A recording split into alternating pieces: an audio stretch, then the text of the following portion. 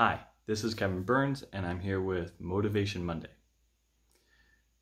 I don't know about you, but now that we're coming to what should be the end of the stay at home order, I really don't know what the governor has planned for June yet.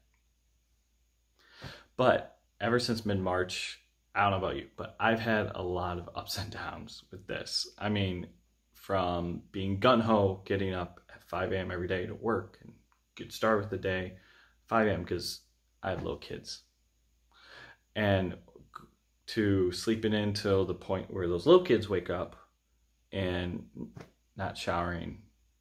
I'm not gonna tell you how how little I showered at times, but it really has been a personal roller coaster. It really has been an adjustment. You'd think we'd all enjoy staying at home, but here we are, and we don't know what to do with ourselves. Even now, last couple weeks, I've gotten more and more used to it. My wife and I are in a routine working from home, but it's been hard to get there, and it's been hard to keep God in it.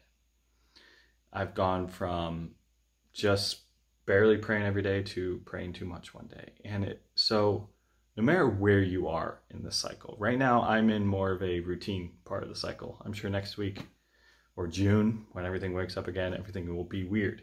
But wherever you are in the cycle, even if you're unproductive, lazy, not showering, God loves you. And He understands what you're going through. We have God who lived on earth. He understands. He heals the brokenhearted. He will get us through this. Just know that He's not mad at you, and He just wants you to get through this with everyone else. Thank you. God bless.